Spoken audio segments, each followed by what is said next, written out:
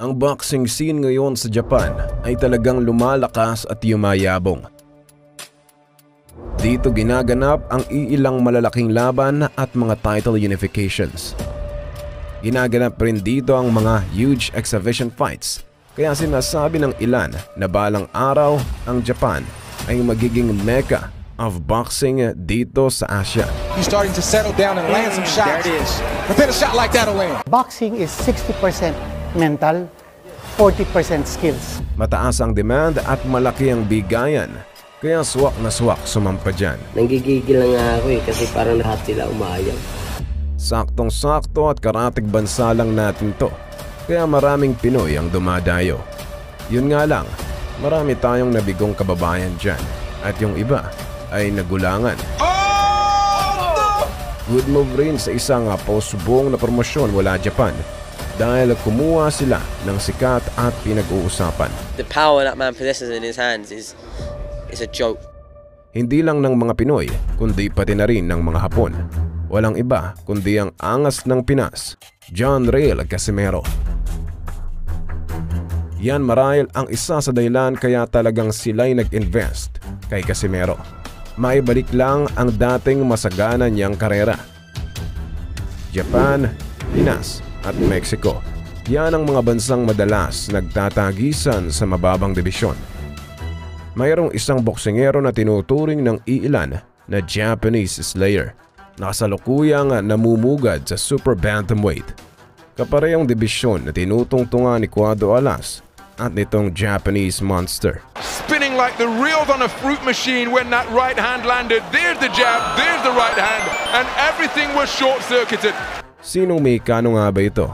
At bakit kaya tingin ng mga Hapon na kayang lapain ito ni Casimero? Alam natin si Casimero talagang willing mag-rest. Tamaan mo ako hasta makatama ako. So, you know, pagdating sa taas ng ring, eh, ang late ang gloves eh.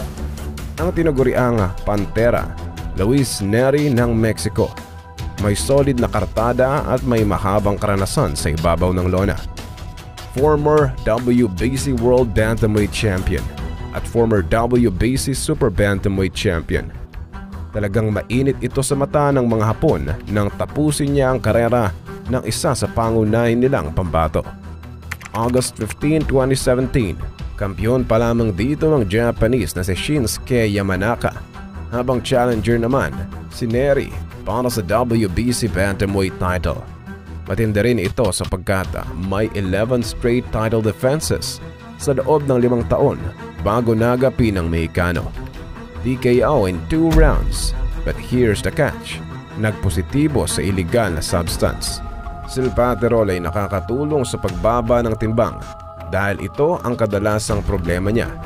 Rematch ay pinataw ng WBC at kailangan meron daw nutritionist si Neri. Japan Boxing Commission ay nagalboroto sa galit dahil imbes isoli ng WBC ang belt ay muling pumalya sa timbangan si Neri sa kanilang rematch.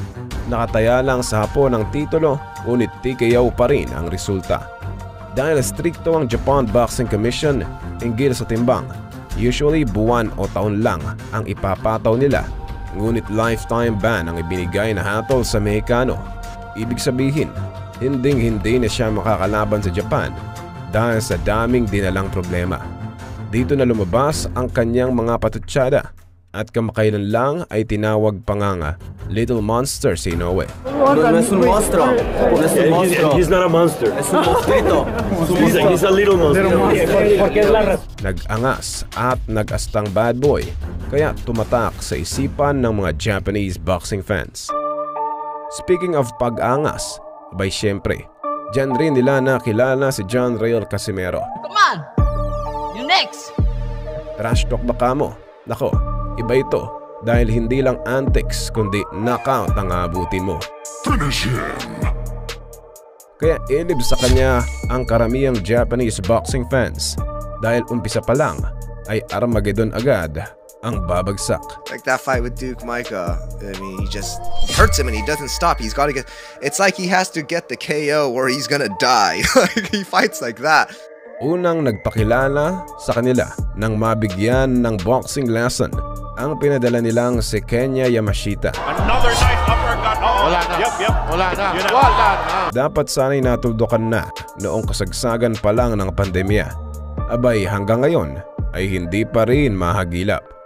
Ang bakbakan nila ang isa sa inaabangan kaya umaasa pa rin ang maraming fans na sana'y maganap sa 122 pounds. Mas lalo nilang sinubaybayan ng pumirma sa bagong Japanese handler na Treasure Boxing Promotions. Dumagdag rin sa kasikatan niya roon ang resultang hindi inasahan ng pasukuin Seryo Akaho. Ikaw ba naman ang hatawin ng bigating suntok? Abay aayaw ka talaga.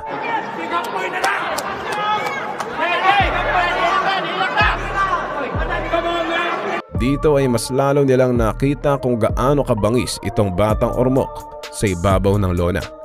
Kaya hindi nila maiwasang ipagkumpara itong dalawang mahilig mag-angas.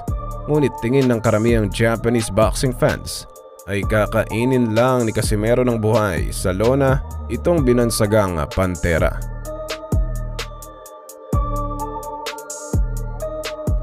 Sa katunayan, may potensyal na maglaban dati ang dalawa noong kampyon pa sa bantamweight, ang ating pambato. Undefeated pa lamang si Neri dito at interesado ring sagupain si Casimero kung sakaling umakyat ng timbang.